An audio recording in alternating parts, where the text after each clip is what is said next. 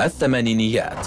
عشرة أعوام غيرت خدمة الكابل التلفاز والتلفاز قام بتغييرنا. لن يتوقف بثنا حتى ينتهي العالم. والآن هناك قناة لكل شيء. أقدم لكم QVC. هل تسمعني؟ ولا مهرب من الأخبار الجيدة السيئة أو غير ذلك. لم أتورط قط بتبديل الزوجات و... مطلقاً. ولست منحرفاً. صحيح. وأصبح لملايين الأمريكيين مطلب واحد. أريد MTV خاصتي. الثمانينيات. العقد الذي تواصلت فيه البلاد مع بعضها. خلال الثمانينيات ارتفع عدد الكابلات من 28 عام 80 إلى 70 عام 90 أتيحت محطات تلفاز الكابل للعامة بسرعة هائلة. وفجأة أصبح لدينا هذا التدفق من الترفيه يدخل المنازل. يعني الكابل قنوات أكثر وخيارات أكثر. البرامج الموجهة كانت الطريق للمستقبل. هذه الفكرة التي جعلتنا فجأة نشاهد ما نريد وليس ما يعرض لنا فقط. وكان هناك شيء واحد أراده كل طفل. ام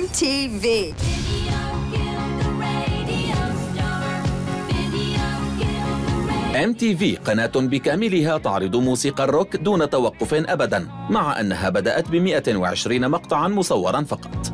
أنا نينا بلاكود. عندما بدأنا لم يكن لدينا كثير من المقاطع لذا كان هناك كثير من التكرار. كان أمرا لا يصدق. أن تشاهد نمطا جديدا في منزلك. هنا عبر MTV قد تكون القناة ناجحة لكنها لم تكسب جمهورا واسعا جدا لأن قنوات الكابل كانت في بداياتها. نيويورك لم يكن فيها خدمة الكابل عندما بدأت ال MTV ينسى الناس أن تلفاز الكابل لم يصنع ليكون ترفيهيا. كان وسيلة للناس ليحصلوا على البث التلفزيوني في المناطق البعيدة والتي لا يصلها البث اللاسلكي وهذا الغرض منه. وعلى المشاهد أن يدفع لزيادة الاشتراكات. استخدمت MTV إعلانا يعود إلى جيل الخمسينيات. أريد رقائق Maypo خاصتي. أريد MTV خاصتي. أريد MTV خاصتي. بات أحد أشهر الإعلانات وأوضح الشعارات لذلك العقد. في أمريكا في الثمانينيات باتت عبارة أنا أريد شيئا جديدا. أنا أريد هذا.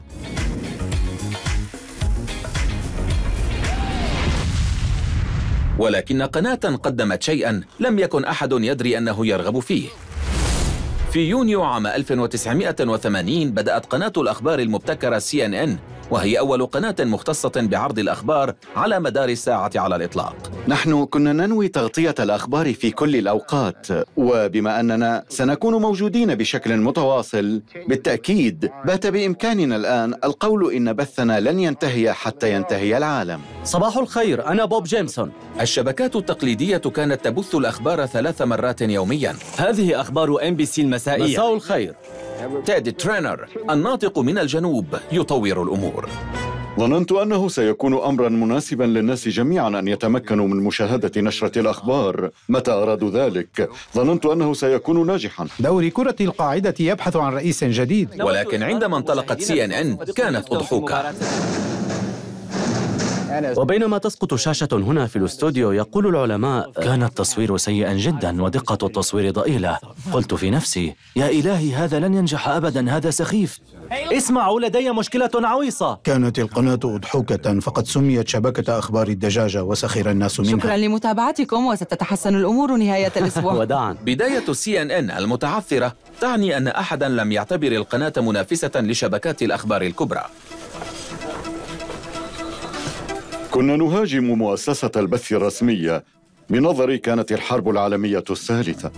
لكن قريبا قصة كبيرة ستجعل شبكة سي ان ان من أهم المنافسين. لقد تفاعل العالم بصدمة وحزن شديد مع أول جريمة اغتيال في عالم موسيقى الروك. في الثامن من ديسمبر عام 80 بعد انطلاق سي ان ان بستة أشهر تعرض جون لينون للاغتيال خارج منزله في نيويورك. وحمل إلى المقعد الخلفي لسيارة الشرطة وأخذ إلى أقرب مستشفى للعلاج. أدخلت النقالة أحد رجال الشرطة وقف قرب شرطي آخر وهمس إنه جون لينون. الممرضة باربرا كاميرر كانت في غرفة الطوارئ عندما دخل المصاب الشهير. عندما وصل جون لينون لم يعرف أحد من هو. لم يكن لديه نبض ولا ضغط دم. لديه أربعة جروح بسبب الرصاص على صدره وثلاثة جروح عميقة على ظهره. قاتل لينون مارك ديفيد تشابمان معجب يعاني الأوهام ويسعى للشهرة. بعد دقائق من وصول لينون وصلت يوكو أونو إلى المستشفى. أحضرت يوكو أونو بسيارة شرطة أيضاً وقالت أخبريني أنه على ما يرام. كان الطبيب ستيفن لين يدير غرفة الطوارئ وقال أنا أعتذر لا نستطيع أن نقول ذلك. وغادر الغرفة. لقد حدقت إلي لدقيقة وقالت لقد رحل وأنا قلت أجل رحل لقد توفي. تصرفت برباطة جأش على الرغم من أنها رأت زوجها يقتل أمام عينيها. وعانقنا بعضنا بكت واحتضنتها. تصرفت كأي شخص طبيعي في مثل هذه الظروف. وللمصادفة أحد منتجي اي بي سي الجدد ألان وايس كان مستلقيا على نقالة في المستشفى ذاتها إثر تعرضه لحادث سير. سمعت إغلاق باب بقوة ودخل رجل يصرخ لدينا مصاب أصيب في الصدر. في أي مرة عندما تسمع خبر إصابة أحدهم في الصدر في منطقة غير حربية فإن فضولك الصحفي يتحرك فورا. ثم خرج رجلا شرطة وقال أحدهما للآخر أيمكنك أن تصدق؟ إنه جون لينون. كان علي الوصول لهاتف. لم نكن نعرف أنه إعلامي. لم نعرف ما كان سيفعل وكانت هناك هواتف في الممرات. وفي الواقع لقد أبلغ القناة بوساطة هاتفنا. قبل أن نعلن خبر وفاة جون لينون حتى. اتصلت بغرفة الأخبار وأجاب محرر الأخبار الليلية وقلت له مرحبا أنا في المستشفى. وتعرض جون لينون لإطلاق نار وتوفي. لو كنت أستطيع أن أقتل أي أحد تلك الليلة كان سيكون ألان وايس حتماً. أخبار اي بي سي المسائية. لن تعرض أي خبر قبل أن تنتهي مباراة مساء الاثنين. والآن ربما نشاهد هدفاً رائعاً. كان مقتل لينون هاما جدا لدرجة أن المعلق هوارد كوسيل نقل الخبر أثناء المباراة. تذكروا أن هذه مجرد مباراة كرة قدم ولا يهم من يربح أو يخسر. فقد وقعت مأساة لا توصف. أكدها لنا قسم الأخبار في اي بي سي في نيويورك. جون لينون كان خارج شقته في حي ويست سايد في مدينة نيويورك وهو واحد من أشهر أعضاء فرقة البيتلز. تعرض لإطلاق نار في ظهره ونقل بسرعة إلى مستشفى روزفلت وتوفي عند وصوله. انتشر الخبر بسرعة. تسارع المراسلون للوصول إلى موقع الحدث مستعدين لتسجيل مواد لموجز الأخبار وتحديثات لمناطق الساحل. في حين استمرت سي إن إن وواصلت النقل المباشر للحدث. أنا ماري أليس ويليامز رئيسة مكتب نيويورك في شبكة سي إن إن. تصل ماري أليس ويليامز إلى موقع الحدث في عربة للبث المباشر. نحن هنا لنثبت أن الحب لم يمت رغم وفاة جون. ولكن معجبي لينون المفجوعين بموته قاموا في البداية بردة فعل عدائية. بدأ الناس يهزون الحافلة وهم يصيحون أنتم في الطريق خذوا أخباركم وارحلوا من هنا. فنزلت وقلت لهم جميعاً نحن نبث هذا للعالم بكامله. لفعل ذلك علينا أن نبث تسجيلاتنا لقمر صناعي على بعد 370 ألف كيلومتر في مدار متزامن مع الأرض هناك. وإذا اهتزت الحافلة فلن نفعل ذلك. لذا أحتاج مساعدتكم. هل أمسك كل منكم يد الآخر لتشكيل دائرة حول هذه الحافلة وحمايتها لنرسل صور إلى العالم؟ ففعلوا ذلك. خيم المئات من معجبي جون لينون أمام مبنى شقته الفخمة في حي ويست سايد. تغطية وفاة جون لينون ساعدت سي إن إن على تثبيت مكانتها بوصفها شبكة أخبار على مدار الساعة. جوان لي شبكة سي إن إن من أمام مبنى داكوتا في نيويورك. وعرفت أن هناك شيئا مميزا وهو رؤية الأخبار بشكل مباشر. هذا ما نفعله. من الأخبار إلى الموسيقى إلى الرياضة. قامت قنوات الكابل بتغيير كل شيء. بداية من التسوق. أقدم لكم كيو في سي أحدث شبكات الكابل الأمريكية للتسوق. وصولا إلى طريقة لاسترجاع معتقدات الماضي. إذا كنت أشعر بتحسن فلن أدع الأشرار يعرفون. حين بدأ الدعاة ينشئون شبكات الكابل خاصتهم. السماء تقوم بتزويدك بالأدوات كلها. لكن مع هذه العروض الحقائق ستنكشف. بالنسبة إلى جيم بيكر النجومية على قنوات الكابل ستتحول إلى كابوس. أنتم نور العالم! في الثمانينيات أصبح الدعاة ملوك عالم الكابل بكامله. كان في عينيه ما يشبه ألسنة اللهب رجال استعراض يقدمون عظات عن غضب السماء. شبكة بي تي إل تقدم لكم جيم وتيمي. جيم وتيمي بيكر مختلفان قليلا. كان لديهما مقدم شبيه بالمقدم الذي يقول ها هو ذا جوني. وكما تعرفون كانا يخرجان ويتكلمان. ومن ثم يخرجان إلى موقع التصوير الذي يبدو كالمنزل ويقولان أهلا في منزلنا. PTL Club. كان برنامج منوعات مع جرعة كبيرة من الطقوس التقليدية. كان كل من جيم وتيمي بيكر ضد حركة الخمسينية المتدينة إذ كانت جادة وصعبة في حين كانا مع التدين الأبسط. أسست عائلة بيكر شبكة Praise The Lord التلفزيونية كانت لديهما واحدة من أهم شبكات الأقمار الصناعية في العالم ومع ملايين المشاهدين. ولكن مع النجاح يأتي الإغراء. أعتقد أن على بعض مشاهدينا الآن أن يلتقطوا سماعة الهاتف ويفعلوا ما عليهم. وصلتني رسالة بخصوص شخص ما في هاواي وأثق بأنهم سيجمعون مئة ألف دولار. 395,990 دولارا. نحتاج إلى أربعة آلاف أخرى كي نصل إلى أربعمائة ألف. ولم تكن النجومية التلفزيونية كافية لذا عائلة بيكر كانوا يبنون إمبراطورية من نوع مختلف. هل الأطفال عصبيون؟ هل يقوم العمل بإحباطك؟ ما تحتاجون إليه هو متنزه هيريتيج يو اس اي هيريتيج يو اس اي كان تابعا لشبكة PTL وقد بني بأموال التبرعات. لدينا المكان المناسب لك. في ذلك العام تكاليف الشبكة ومتنزه Heritage USA كانت باهظة جدا. متنزه Heritage USA ليوم أو لمدى الحياة. كان على أبي أن يجمع مليون دولار كل يومين ليبث البرنامج على الهواء ويدفع رواتب الموظفين. كيف يفعل ذلك؟ سأصاب بنوبة لو كان علي جمع مليون دولار على مدى حياتي. فما بالكم بكل يومين؟ كان عملا شاقا ولكن المكافأة الثمينة كانت التدين على طريقتهم. التدين لا يعني أنني لا أحب الأشياء الجميلة أعشق الأشياء الجميلة. والداي بالتأكيد كانا يبالغان في كل شيء. حتى في إيمانهما كان باستطاعة والدي المشاركة في جزء من المجتمع والقول يمكنك أن تكون مؤمنا وناجحا أيضا. عام 87 نجاح عائلة بيكر كان على وشك الانهيار. لم أتورط قط مطلقا بتبديل الزوجات مطلقا. ولست منحرفا. أمينة السر جيسيكا هاهن اتهمت المدعوة جيم بيكر بتخديرها واغتصابها. في ذلك الحين سحبني من خصري ووضعني على السرير. خلع حمالة صدري وقال جيسيكا تذكري حين تساعدين الراعي فأنت تساعدين الجميع. وتبعت كل ذلك اتهامات أفظع. ممارسة البغاء والاختلاس أيضا. صدمت البلاد وبات آل بيكر يلاحقون في كل مكان. من العدل القول إن جيم وتيمي بيكر كانا أول نجمين في تلفزيون الواقع. الناس لم يكتفوا قط من سماع أسرارهما الفضائح وكذلك الخيانة. دعاة كجيمي سواغارت بدأوا بنقدهم مباشرة. جيمي سواغارت انقض على جيم بيكر علنا ووبخه لكونه أظهر مثالا سيئا عن الدعاة الآخرين وعن المجتمع ككل. وبعدها قبض على سواغارت خلال ممارسته البغاء. لقد عصيت أوامرك يا مولاي. اعترف سواغارت وحافظ على عمله. ولكن آل بيكر كان لديهم الكثير.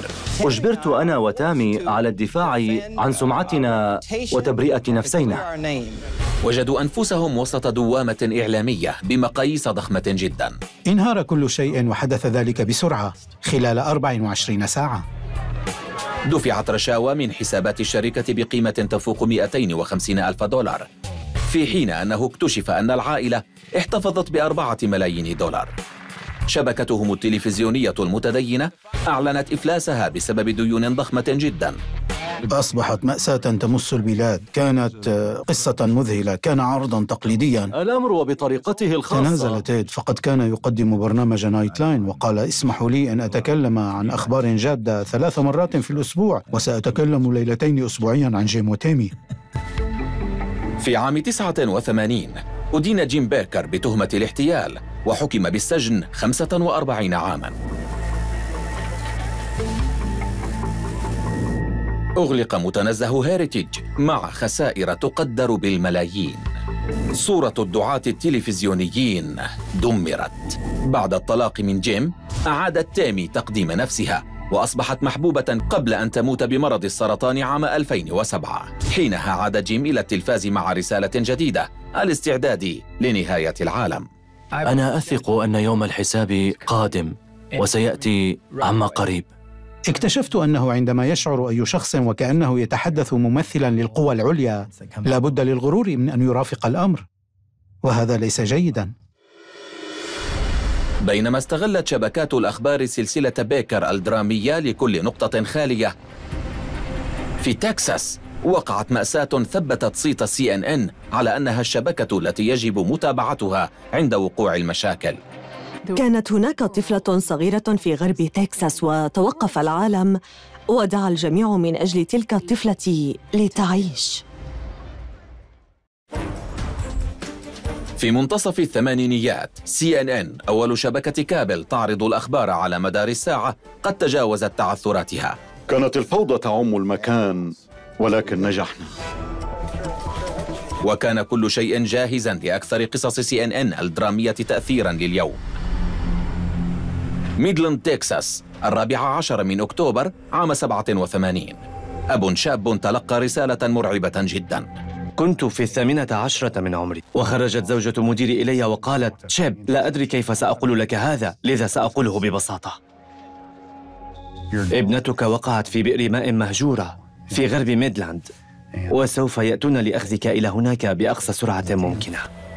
ابنة تشيب البالغة سنة ونصفا جيسيكا ماكلوار عالقة على عمق ستة أمتار في أنبوب عرضه عشرون سنتيمترا. أنزل فريق الإنقاذ ميكروفونا وتأكدوا من أن جيسيكا ما زالت حية. نستطيع أن نسمع جيسيكا وهي تنادي أمها لقد كانت تغني تهمهم وفي بعض الأحيان تبكي. وسمعتها تبكي. وفجأة شعرت بالعالم يدور من حولي ولم أعد أستطيع التنفس. سقطت وقلت لا أستطيع لا أستطيع تحمل هذا. مع مساعدة السماء ودعائكم هذه الطفلة الصغيرة ستنجو. كل شيء بخير جيسيكا. أستطيع الوصول إليك. سيحفر فريق من المتطوعين نفقا موازيا للبئر التي سقطت فيها جيسيكا وأعمق. ومن ثم سيباشرون بإزالة طبقة الحجر الصلبة التي تفصل بينهم وبين الطفلة. عمل فريق الإنقاذ طوال الليل لكن 24 ساعة مرت من المعاناة للوصول للطفلة جيسيكا. يتهافت الإعلام نحو ميدلاند ومن ضمنهم مراسل سي إن إن توني كلارك. يتقدم فريق الإنقاذ بشكل بطيء جدا حرفيا وعلى هذا المنوال قد تبقى جيسيكا عالقة فترة طويلة قبل إخراجها. هذا النوع من القصص الذي يبقي الناس متسمرين أمام سي ان ان في أنحاء العالم. كان الظن أنهم سينقذونها خلال وقت قصير فقط ولكن متطوعي الإغاثة حفروا ووجدوا أن العمل أصعب مما يظنون. القنوات العادية كانت تعرض مستجدات بين فينة وأخرى ثم تعود إلى برامجها. نحن بقينا وبقينا نعرض تلك القصة طوال اليوم بينما كانوا يحاولون إخراجها قبل أن تموت. أتى الأصدقاء والجيران إلى هنا للدعاء لها وتقديم المساعدة والدعم لعائلة ماكلوار حيث تتم جميع محاولات الإغاثة. نحن نصلي ليتم إنقاذ هذه الطفلة. آمين. أخيرا بعد 58 ساعة الأمل. كنا نعرف أنهم سينقذونها في أي لحظة. توقف العالم. وصلوا من أجل طفلة واحدة. كي تعيش.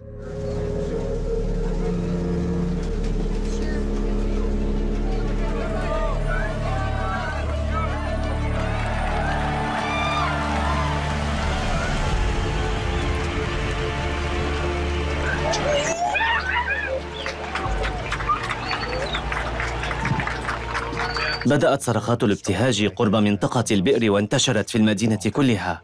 وبتنا نعرف أنها تتالت في العالم كله. بات بإمكان العالم كله أن يتشارك مشاعر هذه القصة.